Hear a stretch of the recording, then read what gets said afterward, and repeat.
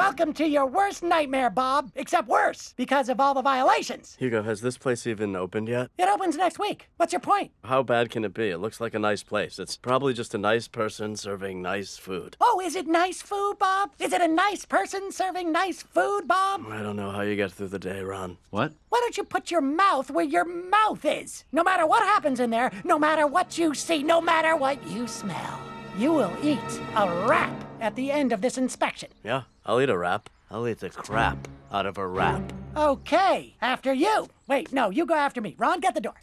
Ooh, wow. Real life health inspectors in my restaurant?